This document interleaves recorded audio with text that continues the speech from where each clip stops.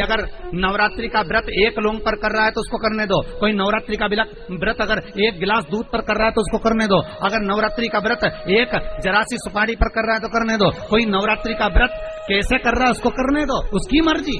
तुमा तुम्हारे घर में जैसा व्रत होता है तुम्हारे घर में जैसा नियम और होता है। कितनी महत्वता कलश की महाराज?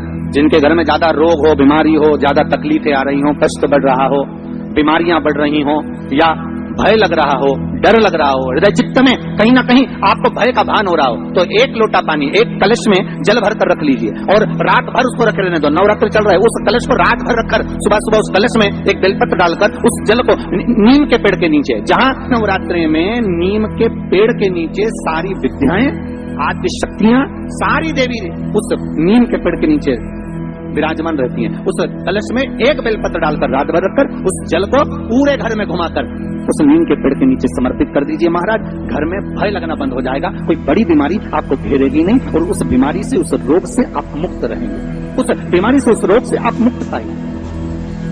वो बीमारी आपको घेर कलश का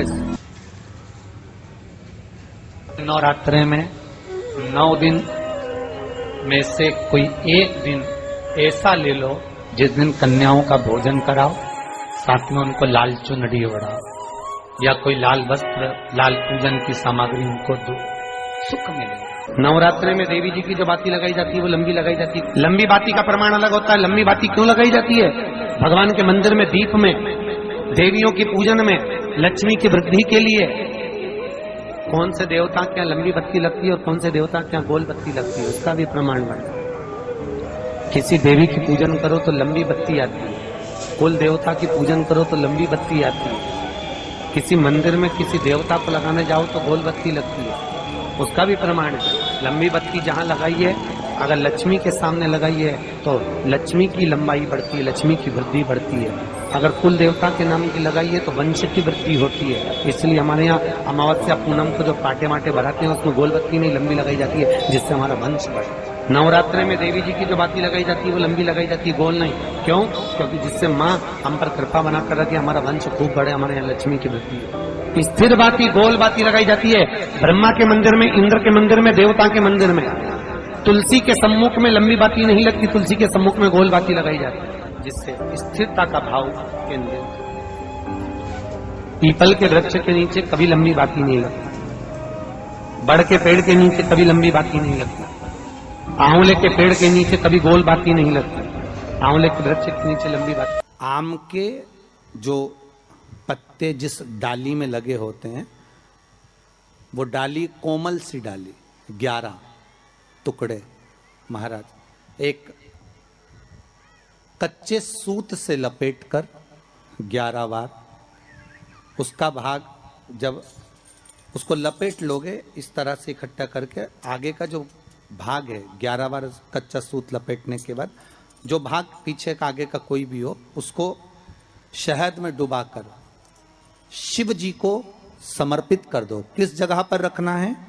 अशोक सुंदरी वाली जगह। अशोक सुंदरी की जगह जानते हो आप लोग? पहले भी आपको बताया है, आज फिर आपको वर्णन कर दें। जैसे ये गोल जलाधारी है, ये शिवलिंग रखा है, ये दो जहाँ से पानी बह रहा है, बाबा के चरणारविंद राइट में श्री गणेश जी का स्थान, लेफ़्ट में कार्तिकेय का स्थान, बीच में अशोक सुंदरी की जगह। शंकर भगवान की छह लड़कियाँ हैं। भगवान शंकर के तेरह बच्चे तेरह बच्चों में से छह लड़कियाँ, उस छह लड़कियों में से एक लड़की का स्थान, भगवान शंकर की एक बेटी का स्थान, अशोक सुंदरी का स्थान सामने है। पद्म पुराण में स्पष्ट किया, ये स्थान, अशोक सुंदरी का। शंकर भगवान की जलाधारी में पार्वती जी का हस्त कमल ऊपर से जो एक एक बूंद पानी गिरता है, ये शंकर भगवान की पाँच लड़कियों का स्थान है, जया, विषहरा शामरी बारी दौतली और देव। शंकर भगवान की पाँच लड़कियाँ भगवान शंकर के मस्तक पे जल की धार गिरा रही हैं। बीच में जो अशोक सुंदरी का स्थान है, महाराज, उस जगह पर शहद का मुख, जो शहद आपने भिंगोया है, उस शहद का मुख शंकर जी की ओर कर कर, इसी चैत्र के महीने में, इन्हीं नवरात्रि में, शंकर भगवान के उस अशोक सुंदरी की जगह पर शहद का भाग शिव जी की ओर रख दें। महाराज, अगर घर में संपदा की कमी हो, या कोई पैसा खा गया हो, रुपया नहीं दे रहा हो, पैसा अटक गया हो तो उस शहद को शिव जी की ओर मुख कर कर उस आम के पल्लव की जो डंडी है, उसको ग्यारह डंडी को वहाँ रख दीजिए और उससे अपनी कामना कर कर आ जाइए। हो सके उस शहद में से थोड़ा सा शहद किसी रुमाल पर, किसी कपड़े में लगाकर उसको रख लीजिए। जिस व्यक्ति से पैसे लेना है, जिस व्यक्ति से पैसे मांग रहे हो, उससे एक बार जाकर मिल लीजिए। एक बार उसको खबर कर दीजिए। बाबा चाहेगा भोलेनाथ तो नवरात्रि में ही पैसा वापिस आ जाएगा। अगर शिव कृपा कर दे ये बाबा की करुणा। आम का पल्लव कोई साधारण नहीं, जिसको कलश के ऊपर रखा जाता है। शिव की कृपा, जिस आम के पेड़ पर स्वयं कामदेव चढ़कर भगवान शंकर के तीसरे नेत्र द्वारा जलकर भस्म हो जाते हैं, वो आम का पेड़ साधारण नहीं हो सकता।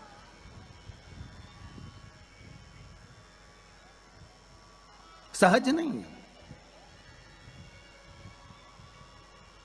और वैसे भी शिव शिव है महाराज। आम का जो पत्ता होता है, आम का जो पल्लव होता है, उस आम के पत्ते पर हल्दी और सिंदूर। इन दोनों से स्वस्तिक का निर्माण किया जाए। दे, देवी भागवत का संवाद है बहुत ध्यान देना महाराज। जिन कन्याओं का विवाह ना हो पंचमी के दिन नवरात्रे की कोई सी भी पंचमी मतलब जो पंचमी तिथि पड़ेगी कोई भी नवरात्रा हो चाहे वो चार नवरात्रे में से चाहे वो पौष का हो अश्विन का हो चैत्र का हो आषाढ़ का हो किसी भी नवरात्रि में आप कर सकते हैं। एक पान के पत्ते पर, एक ही पत्ते पर जो दो स्वस्तिक बनेंगे, एक हल्दी का बनेगा, एक सिंदूर का बनेगा। बस अंतर इतना है, जो हल्दी का स्वस्तिक है, उस पर कंकु के चावल, अर्थात रौली के चावल, रौली, कुंकू के चावल रखना है, और जो सिंदूर का है, उस पर हल्दी के चावल रखना है। इतना रखकर, जिस लड़का लड़की का विवाह नहीं होता, उसकी हथेली पर रखकर उसका नाम और गोत्र बोलकर, महाराज, उसको ले जाकर नीम के पेड़ के नीचे उसको रख दिया जाता है। मात्र साढ़े तीन या चार महीने ऐसे रहते हैं जिसके अंदर उस लड़का लड़की का विवाह पक्का हो जाता है। जिसका विवाह नहीं होता, केवल उसी के लिए। जिसका मंगल विवाह ना हो रहा, आम के पल्लव में शिव का वर प्रदान है। आम के पल्लव में शंकर का आशीर्वाद। आम के पल्लव में शिव का के दिन लोग देवी जी की स्थापना करते हैं। तो क्या स्थापना में क्या रखते हैं? कलश रखते हैं ना? तो कलश किस लिए रखा जाता है? कलश का क्रम क्या है? अपन ने अभी तक कथाओं में बहुत सुना शिव महापुराण में कि दिए का महत्व क्या है। अपन ने सुना दही का महत्व क्या है? जल का महत्व क्या है? पूरी शिव महापुराण में अपने अलग अलग महत्व को जाना है। पर यह नवरात्रे में जो शिव महापुराण की कथा शुरू हो रही है, नवरात्रे में जो शिव महापुराण की कथा को हम श्रवण करने के लिए बैठे हैं, इसमें हमारा एक संशय और मिटना चाहिए कि भारत की भूमि पर जब माँ आद्य शक्ति की स्थापना होती है, माँ जगतजननी को जब विराजमान किया जाता है, या चैत्र नवरात्रे में शरदीय नवरात्रे में, आषाढ़ी नवरात्रे में,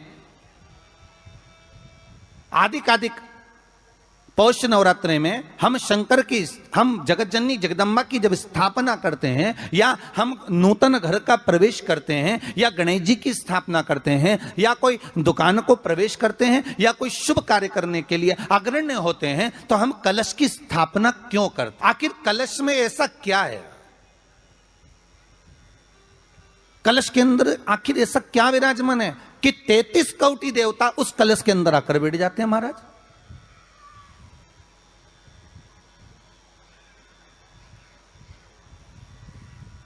आप कोई यज्ञ करने जा रहे हो, आप कोई पोथी पुराण करने जा रहे हो, आप कोई अच्छा कार्य करने जा रहे हो तो ब्राह्मण देवता कह देते, कलश की स्थापना होगी, कलश की शोभा यात्रा निकलेगी, कलश यात्रा निकलेगी, कलश विराजमान होगा। और आज हर की पौड़ी पर, प्रयागराज में, या उज्जैनी में, नासिक में, जो बड़े बड़े कुंभ के मेले होते, कुंभ का मतलब भी तो कलश से होता। है उसकी महत्वता क्यों है? उस कुंभ की, उस घड़े की महत्वता कहाँ से प्रकट हो गई? शिव महापुराण की कथा कहती है महाराज, भगवान औघड़दानी शंकर स्वयं आद्य शक्ति जगदम्बा से कहते हैं कि जगदम्बा, तू क्या चाहती है बोल। तो जगत जननी जगदम्बा कहती है कि जहाँ मैं हूँ, वहाँ शंकर है। ये आपने कह दिया। पर जहाँ शंकर है, वहाँ पार्वती का होना ज़रूरी है। उसके लिए सिद्ध करने के लिए एक स्थान ऐसा बनाया जाए जहाँ पर शंकर विराजमान है और शंकर के साथ पार्वती विराजमान है। तो शिव जी ने कहा, पार्वती, उसके लिए मैं तुझे एक सुंदर कलश का निर्माण कर कर देता हूँ। कितना सुंदर लिखा है देवी भागवत के अंदर कि जहाँ कलश की स्थापना होती है, उस जगह पर किसी देवताओं को बुलाने की ज़रूरत नहीं होती। तैतीस कोटि देवता उस जगह पर स्वतः विराजमान हो जाते स्वयं तैतीस कोटि देवता स्वयं वहाँ विराजमान। और कितनी महत्वता कलश की महाराज?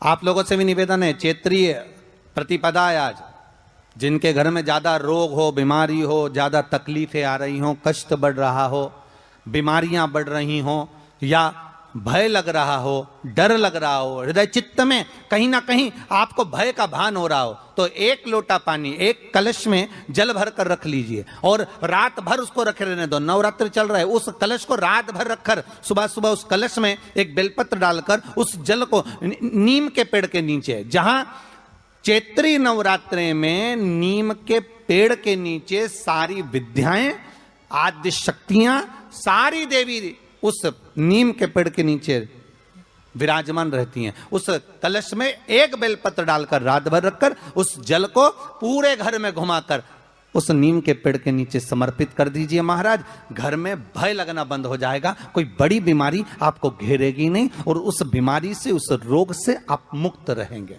उस बीमारी से, उस रोग से आप मुक्त पाएँगे। वो बीमारी आपको घेर नहीं कलश का इस इस संसार सागर से उबरने के लिए हम भगवान की कथा को अपने हृदय में, अपनी चित्तवृत्ति में, अपने मन में उतार लें।